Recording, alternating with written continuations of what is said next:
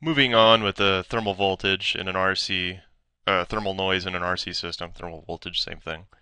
Uh, these, this expression that we had for the the thermal noise, the noise voltage, a lot of that is pretty intuitive to me. I think it would be intuitive to a lot of you, except for this delta F. What does this delta F mean?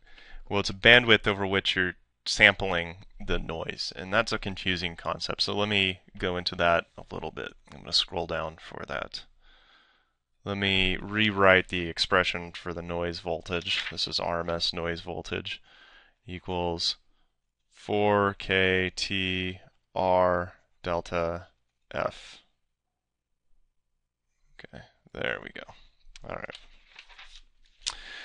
Say we wanted to know, know the noise uh, on a resistor between two frequencies. I'm going to give some examples here. Frequency 1, frequency 2, and delta f. Let's say frequency 1 is 0 hertz DC and frequency 2 is 1 hertz. Uh, what's delta f? It's just 1 hertz. 1 minus 0.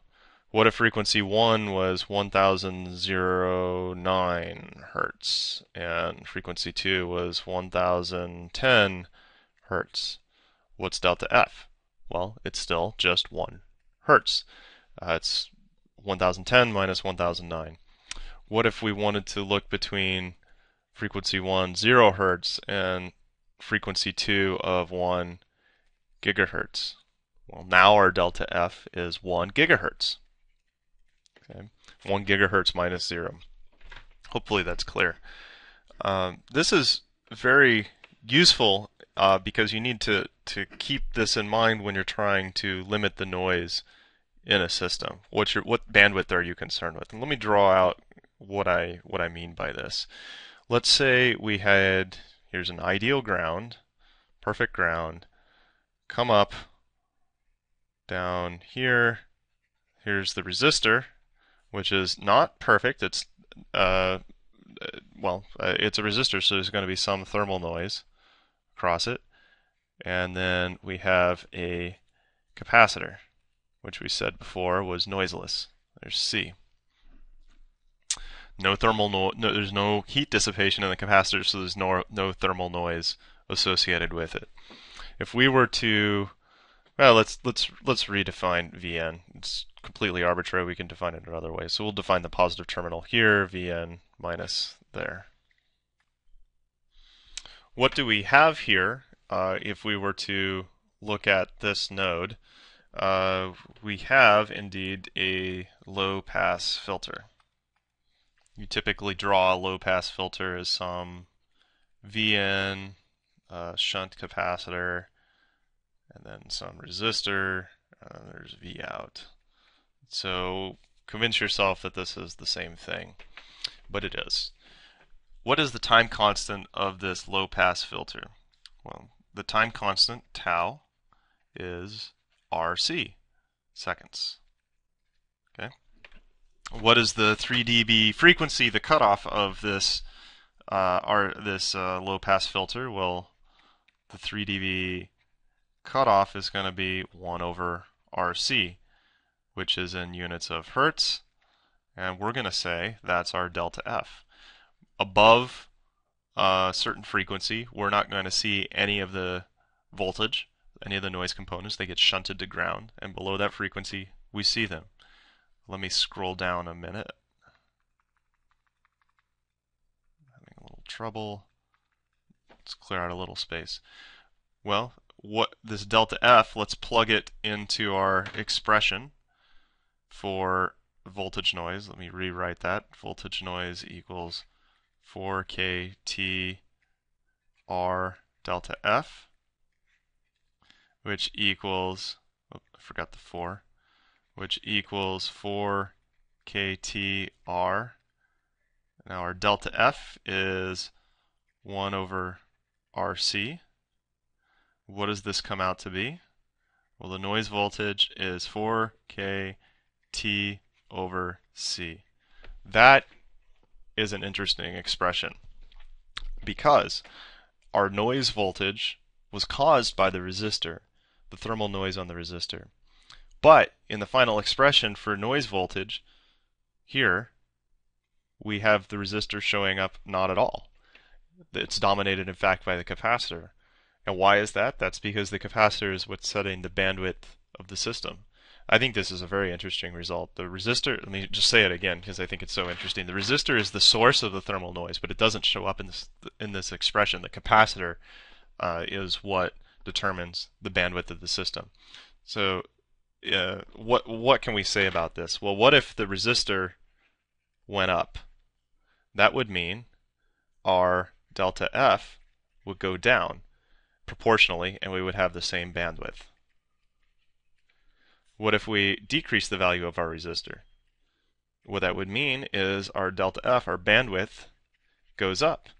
And we would have the same bandwidth the, effectively the system is independent of the resistance, uh, even though that's the source of, of the noise. And I think that's just a very interesting result. Let me scroll down some more. And I'm going to start talking about this expression here. Noise voltage. What can we say about this expression in general? Well, we can say that as t goes down, if we cool down the system, the noise voltage goes down. That's what we expect because at root the, the, the, the, the source of the, the noise is a thermally driven effect. Also, if we increase the value of the capacitance, the noise voltage goes down. And that's because we're decreasing the bandwidth of the system. So you could look at this expression and say, well, I want my noise voltage to be as small as possible, and I can, maybe I don't have control over the temperature. Why don't I just make the capacitor as large as possible? A large capacitor. Large capacitor. Wouldn't that give me a very low noise voltage?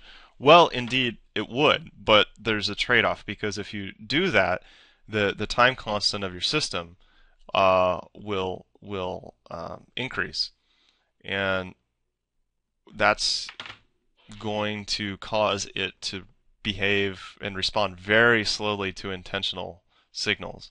So there's going to be one effect here of low VN, but the side effect is going to be a slow response to intentional signals, to signals you want to see. Intentional.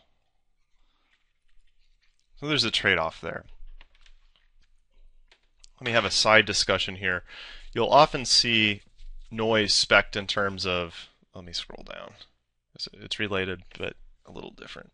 You'll often see noise spec for a system, for a component, or whatever, uh, in terms of volts per square root hertz, or microvolts per square root hertz, or you know whatever nanovolts per square root hertz at a given temperature at a given t. And this stems from the same thermal noise expression, V n equals 4k t r delta f, where if you break this up, you have 4k t r times delta f. Uh, and this is the same thing as saying volts RMS per square root hertz times square root hertz. This is square root hertz. So what you get in your spec, something like this, is this guy. So then you need to go and construct a circuit where you choose or you determine or you calculate the bandwidth, which is this part. And you take your bandwidth, you take the square root of it and you multiply it by this expression, by this expression. Let's just do a quick example. Let's scroll down uh, here say you had a spec for a component that's 100 nanovolts per square root hertz, and you want to construct a circuit based on this, and you know that it has to feed a system or has to drive a system that has a 4 hertz bandwidth, then what you would do to find your noise is just take 100 nanovolts per square root hertz times the square root of 4 hertz, which is 200 nanovolts RMS. And I'll go on to the next video.